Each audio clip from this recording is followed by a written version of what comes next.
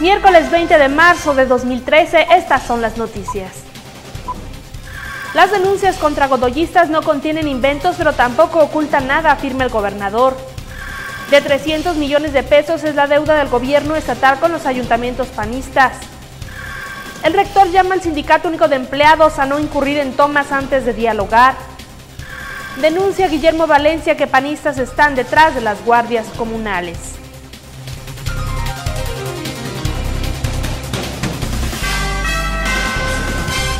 Hola, ¿qué tal? ¿Cómo le va? Bienvenido a Respuesta TV. Yo soy Mónica Mora y es un gusto saludarle nuevamente por medio de www.respuesta.com.mx. Esto es Respuesta TV y lo transmitimos desde la ciudad de Morelia, en Michoacán, México. Y estas son las noticias. Las denuncias contra godoyistas no contienen inventos, pero tampoco ocultan nada. Así lo afirma el gobernador de Michoacán, Fausto Vallejo Figueroa. Hay hechos evidentes como el endeudamiento y los recursos federales que no se aplicaron a los destinos fijados. En relación con las denuncias presentadas por la Contraloría Estatal por presuntas irregularidades cometidas por funcionarios de la Administración Godoyista, el gobernador Fausto Vallejo advirtió que se harán las denuncias que se tengan que hacer sin inventar nada, pero tampoco ocultando nada. En respuesta a radio, el mandatario dijo que ha instruido al Contralor Carlos Ochoa León para que revise a fondo las posibles denuncias de tipo penal que deban interponerse, mismas que deberán estar despojadas de prejuicios en cualquier sentido sea buscando chivos expiatorios como tampoco buscando cualquier ilícito que se detecte. Reconoció que hay hechos evidentes como el endeudamiento y la llegada de recursos federales que no se aplicaron en los destinos fijados, lo que propició severos endeudamientos con proveedores y con municipios, que por supuesto tienen que aclararse. Con información de Jaime López Martínez, voz María Cel Varela. Son cinco las denuncias interpuestas por el gobierno del estado por un presunto daño al erario, pero el Contralor no quiso informar más sobre el tema.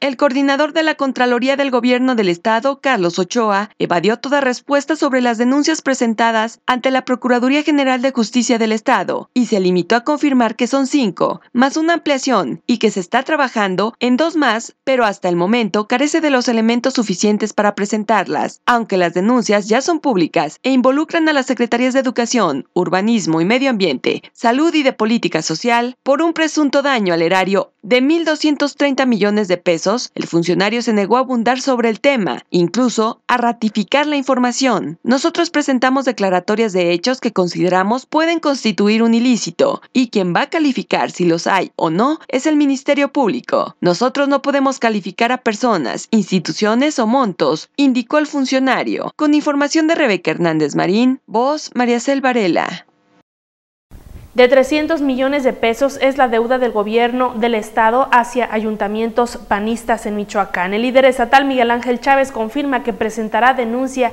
ante la Secretaría de la Función Pública por este incumplimiento. La denuncia panista que se interpondrá en contra del gobierno del estado por retener recursos de origen federal a los municipios gobernados por el Azul se refiere a un monto global de alrededor de 300 millones de pesos, informó el dirigente estatal panista Miguel Ángel Chávez. Explicó que durante el 2012, los 28 ayuntamientos dirigidos por el PAN no solo no recibieron alrededor de 200 millones de pesos por concepto de participaciones federales vía el gobierno del estado, sino otros 100 por incumplimiento cumplimiento en los programas de obra convenida. Explicó que la denuncia se presentará este viernes ante la Secretaría de la Función Pública y simultáneamente se hará del conocimiento de la Auditoría Superior de la Federación y de la Secretaría de Hacienda. Se trata de responsabilizar al gobierno estatal porque esos recursos sí llegaron a sus arcas, pero no los transfirió a los ayuntamientos. Con información de Jaime López Martínez, voz María Cel Varela. Mediante un trabajo de diálogo y conciencia se debe convencer y hacer entender a los normalistas de que no hay recursos económicos para cumplir sus demandas, así lo expresa el gobernador Fausto Vallejo. Habrá que hacer un trabajo de diálogo y conciencia con los jóvenes normalistas para que entiendan que no hay recursos económicos para sus peticiones y que además estamos frente a una disposición federal, manifestó el gobernador Fausto Vallejo respecto a que los jóvenes normalistas siguen empeñados en buscar que se les otorgue mil plazas automáticas. El mandatario estatal insistió en que no se puede conceder lo que los jóvenes solicitan. Ellos saben que no tenemos recursos económicos, que ya son disposiciones federales, ya es por ley. Lo importante es tratar de darles una oportunidad en cuanto a conocimiento y herramientas para que no sean plazas en automático, sino sean ya con la nueva reglamentación, dijo. Por otro lado, dijo confiar en que la Contraloría está haciendo correctamente su trabajo en la presentación de las denuncias ante la Procuraduría General de Justicia del Estado contra la administración godoyista. Con información de Lilia Martínez Avilés, voz María Cel Varela. Actualmente solo el 16% de los municipios del país aplican la ley de contabilidad gubernamental. Michoacán empezó tarde en el tema de transparencia, por ello nos vemos obligados a redoblar esfuerzos, señaló Mercedo Rostieta Aguirre, titular de la Dirección de Transparencia y Acceso a la Información Pública del Poder Ejecutivo, quien además dijo que Michoacán requiere de ciudadanos informados que ayuden a gobernar, pero para ello se les tiene que dar la herramienta de la información. Lo anterior durante la presentación del nuevo portal de la dirección, ante la presencia de consejeros, así como de representantes del Poder Legislativo, la presentación la encabezó el gobernador Fausto Vallejo, quien en su intervención recordó que de acuerdo a evaluaciones del 2010 y 2011, la entidad se posicionó en los lugares 26 y 28 a nivel nacional en esa materia. Puntualizó que para que un gobierno aspire a ser transparente, debe impulsar la participación ciudadana y la rendición de cuentas. Con información de Lilia Martínez Avilés, voz María Cel Varela. Michoacán requiere de ciudadanos informados que ayuden a gobernar, afirma el director, el titular de la Dirección de Transparencia y Acceso a la Información Pública del Poder Ejecutivo.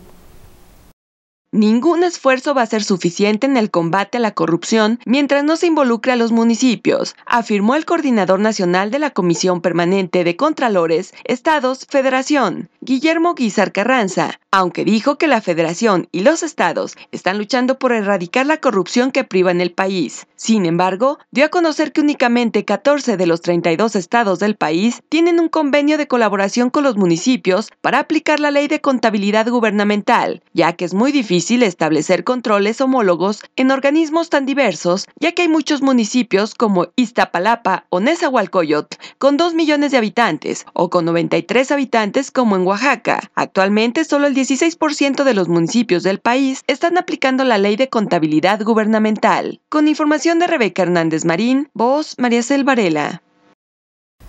El Ejecutivo no ha alcanzado la calificación máxima en materia de transparencia y acceso a la información pública debido a que no tiene clara la información en los padrones de beneficiarios de programas sociales y el desglose de informes.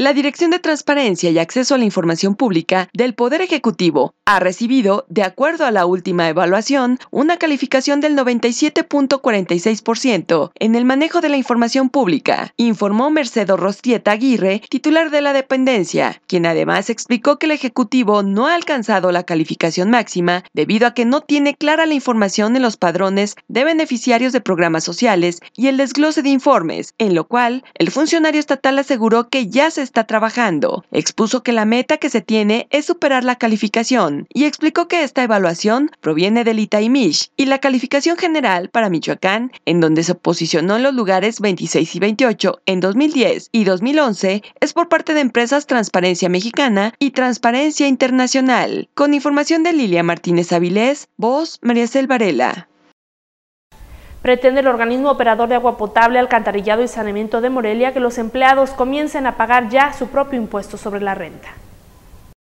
Ante la imposibilidad de mantener vigentes las condiciones de sus empleados, para este año, la Junta de Gobierno del Organismo Operador de Agua Potable, Alcantarillado y Saneamiento de Morelia ha presentado una demanda laboral para reducir dichas prestaciones a partir del próximo contrato colectivo de trabajo. Así lo anunció en respuesta a radio el director del organismo, Augusto Kerr Arriaga, quien explicó, entre otros puntos, que se está buscando que los trabajadores paguen su propio impuesto sobre la renta, dado que hasta ahora la institución la parte patronal es la que absorbe ese compromiso fiscal, lo cual constituye una carga financiera importante para el organismo, sino una injusticia de tipo social, dado que cualquier trabajador del servicio público o privado tiene que cumplir con esa obligación hacia la Secretaría de Hacienda. Con información de Jaime López Martínez, voz María Selvarela.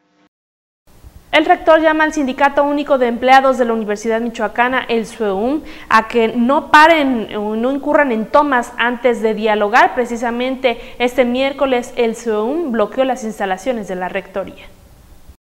El rector Salvador Jara Guerrero llamó a los trabajadores del Sindicato Único de Empleados de la Universidad Michoacana a no volver a incurrir primero en tomas antes que acercarse con la autoridad a dialogar. Esto, ya que hace un par de horas los suemistas se mantienen bloqueando el acceso a la torre de rectoría, demandando que la parte patronal cumpla con lo establecido en la negociación que destrabó la huelga. A ello, Jara Guerrero respondió que quienes no han cumplido son los sindicalizados, sobre todo porque no han entregado la lista de los trabajadores trabajadores eventuales y por ello les instó a que no vuelvan a incurrir en este tipo de prácticas que bajo presión no se puede dialogar. Con información de Teresa de la Torre, voz María Selvarela.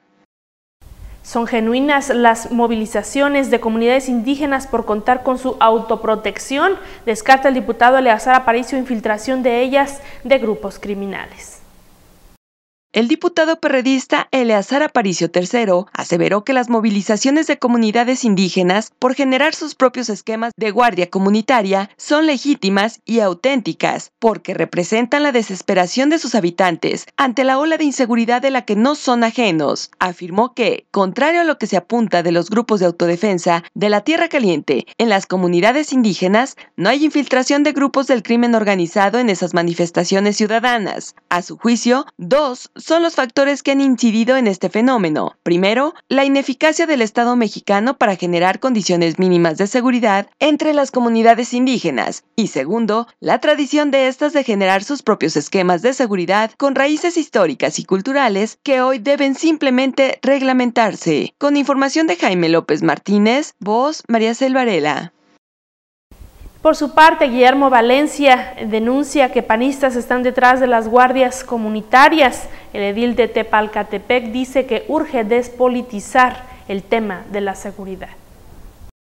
El presidente municipal de Tepalcatepec, el priista Guillermo Valencia Reyes, acusó que panistas están detrás de las guardias comunitarias, por lo que pidió a la oposición que deje de politizar el asunto de la inseguridad, que no es solo privativo de esa localidad, sino a nivel general. En particular, también acusó a Octavio Contreras, exsecretario de la dirigencia estatal del PAN, hace seis años, de haber iniciado una campaña en contra de su administración local. El municipio urgió a un pacto por Michoacán entre los partidos políticos políticos, porque apostarle a la ingobernabilidad en nada ayuda, tras exigir al dirigente panista Miguel Ángel Chávez Zavala que primero ponga orden en casa y deje de echarle leña para poder apagar el fuego, tras que el líder michoacano de Acción Nacional criticase el regreso del mandatario Fausto Vallejo a sus labores, pidiendo que apague el fuego en los problemas de la administración estatal. Con información de Teresa de la Torre, voz María Selvarela.